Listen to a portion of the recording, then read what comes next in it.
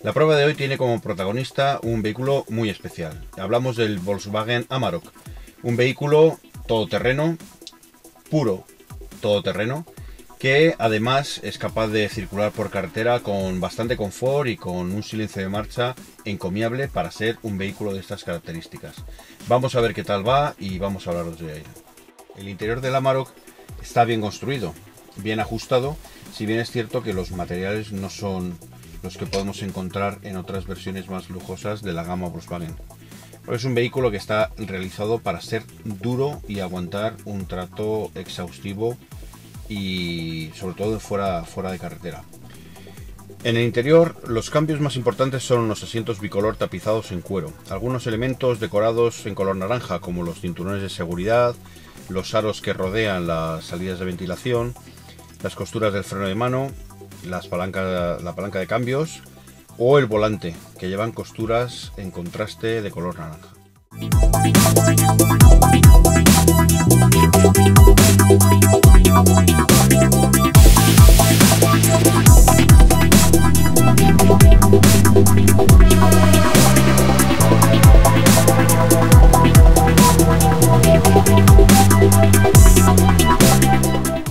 Las capacidades todoterreno del Amarok, eh, son excepcionales. Es un vehículo que está realizado para esa tarea, para circular fuera de carretera y por zonas muy abruptas.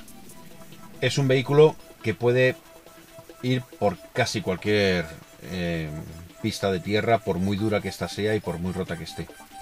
Nosotros tenemos eh, una versión que además tiene una versión de tracción total conectable con un reparto equitativo entre el eje delantero y trasero y con un bloqueo del diferencial trasero para salir de las zonas más complicadas.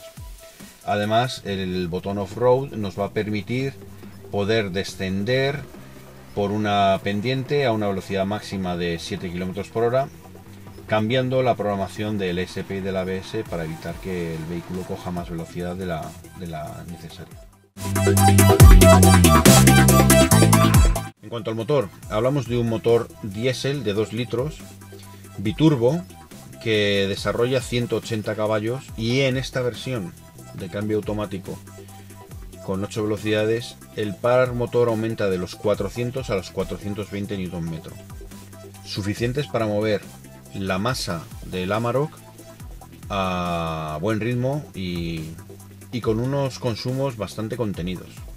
Por autovía autopista, el Amarok tiene una estabilidad muy elevada y es bastante preciso a los movimientos del volante.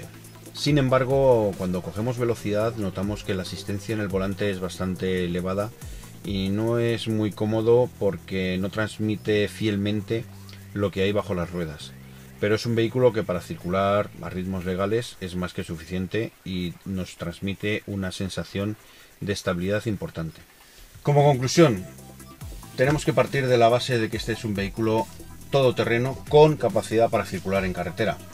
Y lo hace bien. Es un coche que en carretera abierta, autopista o carreteras sin muchas curvas, es un coche que se desplaza bien, que es un coche seguro y a ritmos legales no necesitamos más. Incluso con los neumáticos AT que nos han sorprendido por su bajo nivel sonoro, es un coche agradable de conducir. Bien es cierto que en las zonas de más curvas nos va a, pedir un poquito más de agarre en algunas situaciones y no es una zona donde a la Maroc le guste estar.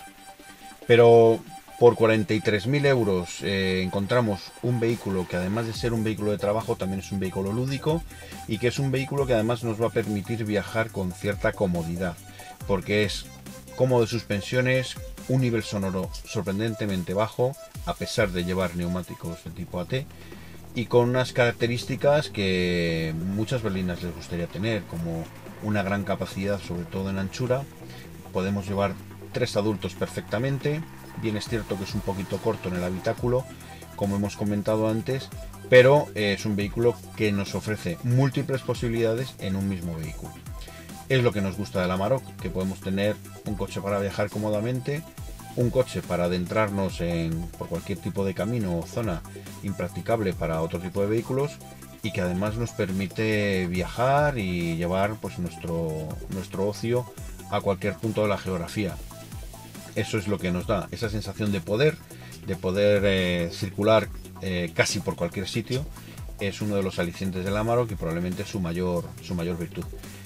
Es lo que más nos gusta. Así que si os, os gusta este coche, eh, ya sabéis que tenéis uno a partir de unos 29.000 euros hasta el tope que está en los 46.000 del, del Highline.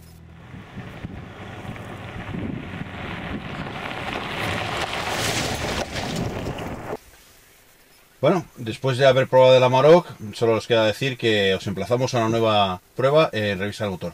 Gracias por vernos.